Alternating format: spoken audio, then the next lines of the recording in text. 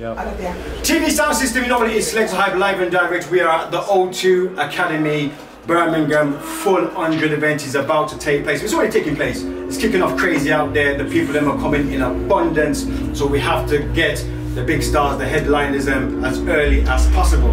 Now the last time I interviewed this real, real general, it was the morning after it totally destroyed the dance. Now I'm interviewing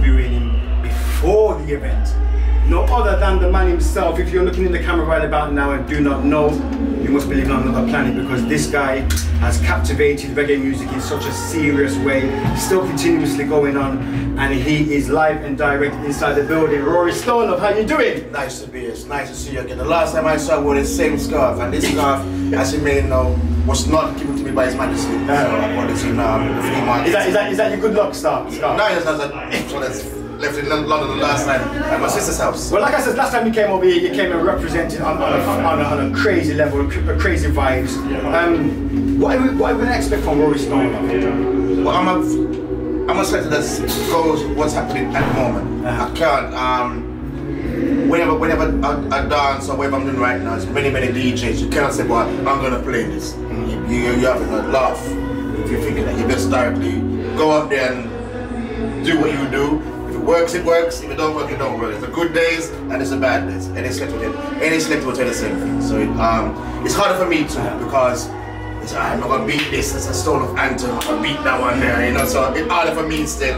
So I just do me and work off inspirations. So. And, and what is it about the UK that like gives you the vibes every time you come to the UK? Because I mean that's. a Well, I was born here. I was, I was born here. I was born in South London. Um, so what's the vibes in like for the UK compared to all the different places that you play around the world? Um, I like the blackness of the UK when when, when, when, you, when you do meetings. Um, anytime you're, you're on like the 70s, I grew up in the 70s, so I grew up in a really pro-black environment. So um, the actual blackness of the UK when you do like my good friend Daddy Ernie in his beautiful wife, mm. like, and my good friend I met him the other day, and it's, it's just like that, that blackness that I enjoy.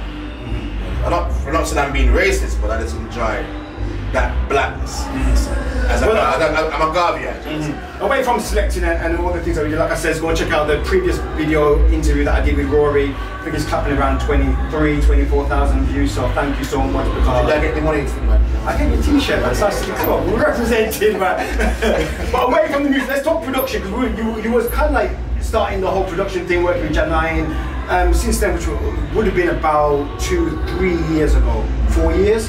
Uh, how's the progress been in terms of production wise? Um, it's, it's what's, getting what's it's getting noticed now. Um, it was hard at first because um, it was a very very radical production I, I was doing. Um, it's hard to get noticed. Um, so I get noticed now, but at the same time, you have to understand the formula of today's youth. Which is what I'm, I'm kind of understanding now. Um, the youths of today speak a different language than what we spoke growing up, so you have to directly. My next speaker is a sister called Raquel Jones, okay. and we've decided now to put it in a youth form related, related to the kids right now. And Raquel Jones um, is a lead singer for a group called Fifi Corporation in DC. So very, okay. they're, they're, like back stadiums and stuff. And she's from Portland, so basically. Um, doing this project right now, which is, which is very, very, very, very exciting for me still. Okay. Um, doing that also doing Samory I's new next album for next year. Wow. The track's already been built. There's uh, songwriting now. Um, doing it from Alicia Scott from Cardiff. Um, a kind of 70s type of feel, much I get a little more. What I grew up knowing, like Heptones and things like that. You understand? So,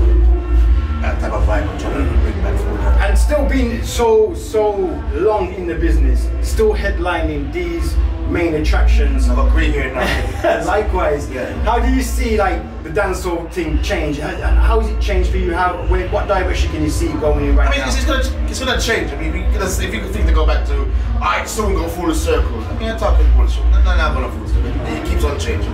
The youths, the youths are different. Now they're stabbing each other. Um, the next generation might be doing something else. I don't know. I mean, keep on evolving. Um, I think the most important key right now is black parenting, like what we had in the 70s to get your ass beaten. You know, I think um, parenting right now is probably the most, it's the strongest thing right now for a black family right now. It used to be a parent. I mean, like I had my first kid was like 17, 18. I was I was ready to be a parent, so I could understand understand things that. So right now, I think that schools right now should really teach kids how to be a parent from an early age right now. Mm. It's a very important aspect. And, then, and, like kind of like stepping away from the whole music thing and like talking about parentage and, and what's going on in the social media uh, world. I'm sure you've seen the situation with Kanye West and, and the words and terms how he put things across. I mean, as a sound man, a music man, a black man coming from Jamaica, what, what's your kind of like views on it? Have you seen it? Do you take notice of that? I didn't, I didn't, I didn't really see. I didn't really see. I was so busy. I was um, recording Samory I before I left. I was, you know, I had some songwriting sessions. I didn't really get a, a, full understanding of what was going on.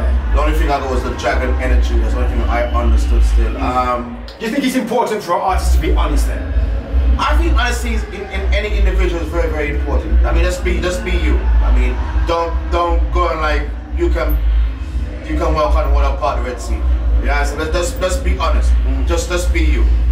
And advice for all of the selectors who are coming out now, you know, some of them call them laptop coaches, some of them are starting to build sound system. I mean, to be in your predicament right now and, and the years that you put in to still be here with thousands of people waiting for you to just grace the stage right now, what advice would you give to them to be in a position like where you are right now?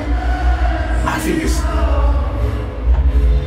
it's amazing right now. You can just buy a laptop and I can check out, yo, give me a playlist and a playlist and let's go there, let's chat some bullshit and collect some money. Nowadays, you better buy records and if you miss the record and you know you're, you're all fucked up. But it's different now. Um, so what would be the advice for them to get on, on a level where you are right now? Um, I don't think somebody can tell somebody how to play music. That, that's that's being a bastard. I think do you. What makes you happy? I mean, I don't say I, I suggest that you should do this and well, why not? Nobody told me that when I was growing up. So I ain't gonna tell somebody how to how to do their thing. Yes, I'm just, saying to you, just please your crowd. Yeah, and that's most I, I, I, I, I, I'm not gonna preach until nobody like like like like um um like um Moses. And I, I can't tell you how to live your life. I'm just saying we all grow up knowing right and wrong.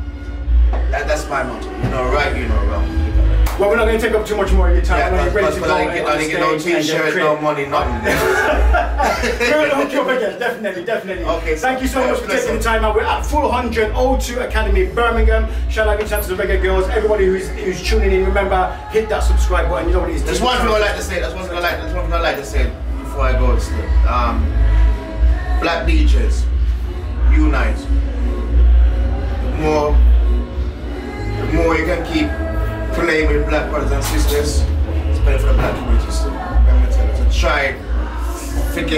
the and try to keep parties for yourselves.